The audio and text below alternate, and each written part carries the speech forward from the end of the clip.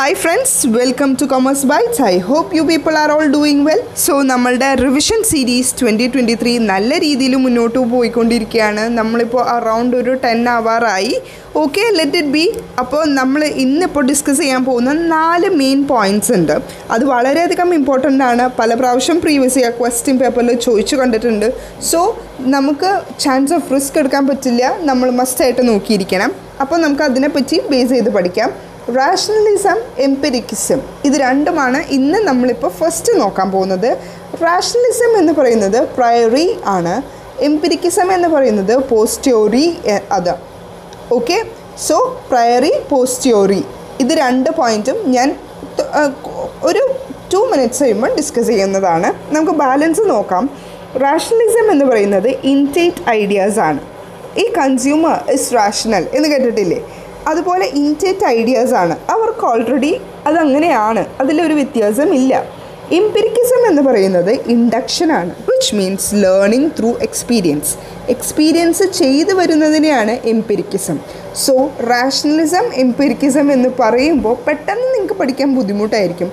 അപ്പോൾ അതിന് ഞാനൊരു ഷോർട്ട് കട്ട് പറഞ്ഞു തരാം. Empiricism experience empiricism experience E E കണ്ടോ? നിമോണിക് ആണത്. ഓക്കെ എംപെരിക്കിസം എന്ന് പറയുമ്പോൾ തന്നെ ഓട്ടോമാറ്റിക്കലി ഇനി ഏത് ഉറക്കത്തിൽ ചോദിച്ചാലും നിങ്ങൾക്ക് പറയാൻ പറ്റണം.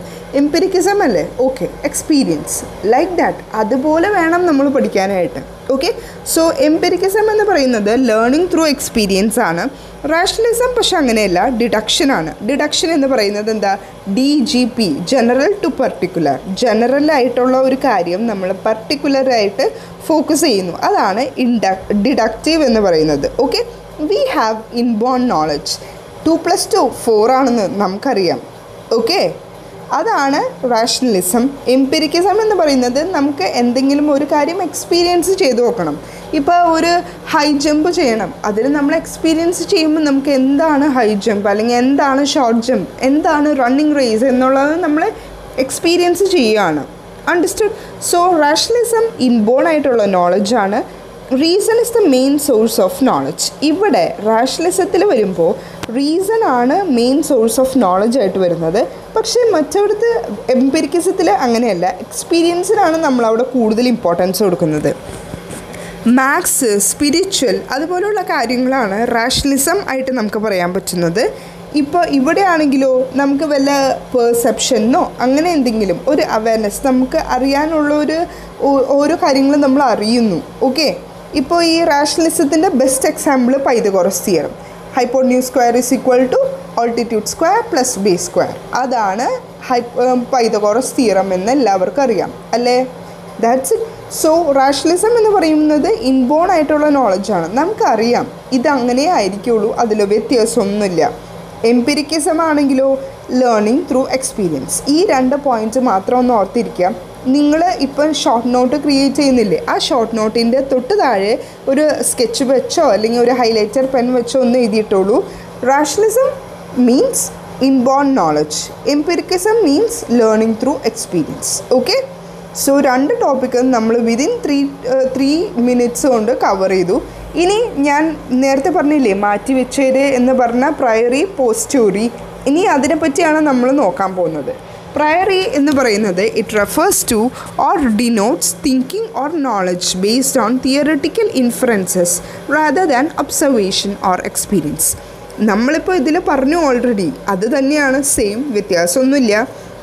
റാഷണലിസം നമ്മൾ പറഞ്ഞു ഇൻബോൺ ആയിട്ടുള്ള നോളജാണ് പ്രയറി. പ്രയറിന്റെ മീനിങ് എന്താ? നേരത്തെ കൂട്ടി മുൻകൂട്ടി എന്നുള്ള മീനിങ് ആണ് പ്രയർ എന്ന് പറയുമ്പോൾ. അപ്പോൾ അതിന്റെ തൊട്ടപ്പുറത്ത് ഓപ്പോസിറ്റായിട്ട് അതിന്റെ ഓപ്പോസിറ്റായിട്ട് വരുന്ന വേർഡ് പോസ്റ്റ്യൂറി ആണ്. അപ്പോൾ പോസ്റ്റ്യൂരിയർ എന്ന് പറയുന്നത് എന്തായിരിക്കും? നമ്മൾ ഇനിയാണ് കണ്ടുപിടിക്കേണ്ടത്. നമ്മൾ എക്സ്പീരിയൻസ് ചെയ്താണ് പഠിക്കേണ്ടത് എന്നുള്ള പോയിന്റാണ് I you getting my point right okay so priori എന്ന് പറയുന്നത് നമുക്ക് ഓൾറെഡി അറിയാം. Knowledge is based on the theoretical influences rather than the observation or experience നമ്മളെ എക്സ്പീരിയൻസിനെയും ഒബ്സർവേഷനൊന്നും കൂടുതൽ ഇമ്പോർട്ടൻസ് കൊടുക്കില്ല. നമുക്ക് എന്താണോ അവിടെ ഉള്ളത് എന്ന് നമുക്ക് തിയററ്റിക്കലായിട്ടുള്ള ഇൻഫ്ലുവൻസസ് ഉണ്ട്. അപ്പോൾ അതിനെ ബേസ് ചെയ്ത് മാത്രം നമ്മൾ നിൽക്കുള്ളൂ എന്നുള്ളതാണ് പ്രയർ അല്ലെങ്കിൽ പ്രയറി പ്രയറി വരുന്നത് എവിടെയാണ്? റാഷണലിസത്തിൽ ഇനി ഇമ്പിരിക്കിസത്തിൽ എന്താണ്? Learning from experience so learning from experience എന്ന് പറയുന്നത് പോസ്റ്റ്യൂരിയർ ആണ്. Pertaining or denoting reasoning or understanding the following observation or experience and lead to conclusion of plausible courses so ഇത്രയേ ഉള്ളൂ. വേറെ കോംപ്ലിക്കേഷൻസ് ഒന്നും ഞാൻ ആക്കുന്നില്ല.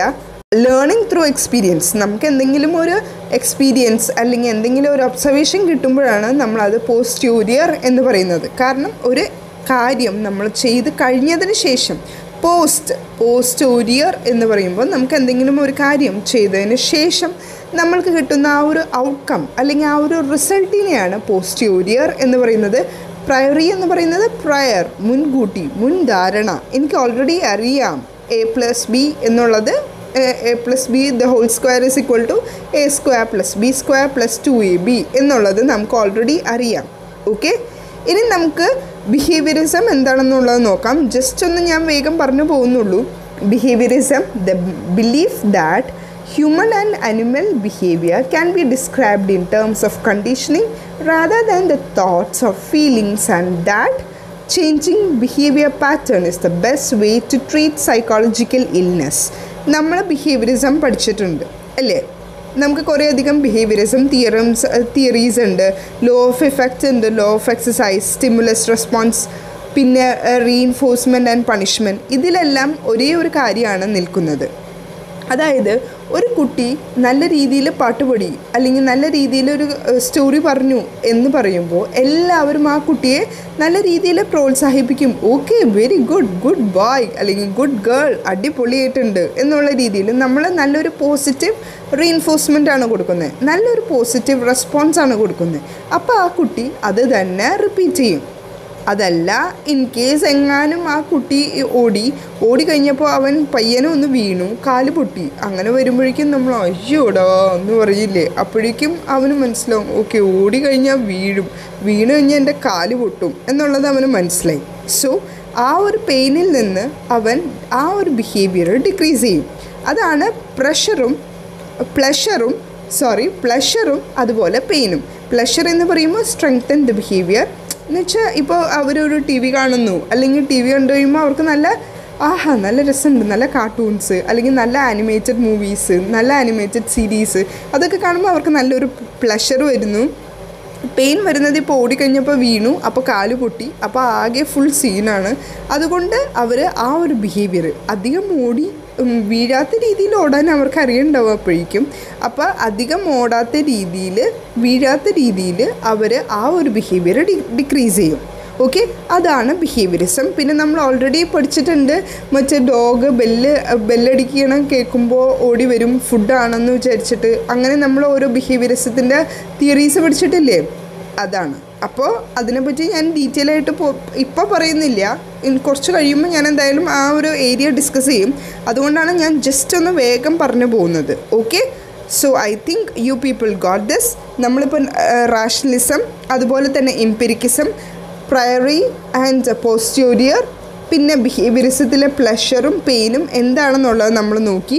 പിന്നെ ബിഹേവിയറിസത്തിൽ വരുന്ന main theories law of exercise stimulus response law of effect reinforcement and punishment എന്നുള്ള points എല്ലാം നമ്മൾ നോക്കി. ഇതെല്ലാം വളരെയധികം ഇമ്പോർട്ടന്റ് ആട്ടോ. നമ്മൾ പിന്നെ ഇപ്പോൾ ടീച്ചിങ് മെത്തേഡ്സിന്റെ എല്ലാ സെക്ഷൻസും എല്ലാ മെത്തേഡ്സും നമ്മൾ കവർ ചെയ്തിട്ടുണ്ട്. ആദ്യമായിട്ടാണ് നമ്മളുടെ വീഡിയോ കാണുന്നതെങ്കിൽ നമ്മളുടെ യൂട്യൂബിന്റെ നമ്മളുടെ കൊമേഴ്സ് ബൈറ്റ്സ് എന്ന യൂട്യൂബ് ചാനലിൽ നമ്മളെല്ലാം സെഗ്രിഗേറ്റ് ചെയ്ത് സീരീസ് ബൈ സീരീസ് ആയിട്ട് പ്ലേലിസ്റ്റിൽ ക്രിയേറ്റ് ചെയ്തിട്ടിട്ടുണ്ട്. മിസ് ഔട്ട് ചെയ്തവർ മസ്റ്റായിട്ട് കാണണം. പിന്നെ കുറച്ച് പുതിയ സബ്സ്ക്രൈബേഴ്സ് ഉണ്ട്. അവരോട് എനിക്ക് പറയാനുള്ളത് മാം ഓ അത് പഴയ വീഡിയോസ് അല്ലേ? അത് ടു തൗസൻഡ് ട്വന്റി ടൂവിൽ ക്രിയേറ്റ് ചെയ്ത വീഡിയോസ് അല്ലേ എന്ന് ചിന്തിക്കല്ലേ? കാരണം ഞാൻ എപ്പോഴും ഒരു വീഡിയോ ക്രിയേറ്റ് ചെയ്യുന്നത് പ്രീവിയസ് ഇയർ ക്വസ്റ്റ്യൻ പേപ്പറിനെ ബേസ് ചെയ്ത് മാത്രമാണ് അതുകൊണ്ട് തന്നെ എന്റെ ഓൾഡ് വീഡിയോസ് അതായത് ലേറ്റസ്റ്റ് ആയിട്ട് ടു തൗസൻഡ് ട്വന്റി ടുവിന്റെ ഇയറിൽ ഞാൻ പ്രിപ്പയർ ചെയ്തത് ടു തൗസൻഡ് ട്വന്റി വണ്ണിൽ ഞാൻ പ്രിപ്പയർ ചെയ്തത് എല്ലാം വളരെ ഇമ്പോർട്ടന്റ് ആണ്. നിങ്ങൾക്ക് നോക്കിയറിയാം ത്രീ ഹൺഡ്രഡ് പ്ലസ് വീഡിയോസ് ഞാൻ ഇപ്പോൾ തന്നെ ഓൾറെഡി അപ്ലോഡ് ചെയ്തിട്ടുണ്ട്. ഓക്കെ സോ ഒന്ന് പോലും മിസ് ഔട്ട് ആവാതെ ഓരോ പ്ലേലിസ്റ്റും എടുത്തെടുത്തെടുത്ത് നോട്ട്സ് പ്രിപ്പയർ ചെയ്യുക പഠിക്കുക. നിങ്ങൾ ഹാർഡ് വർക്ക് ചെയ്യാൻ റെഡിയാണെങ്കിൽ നിങ്ങളുടെ മുന്നിൽ വീഡിയോസ് ഉണ്ട്.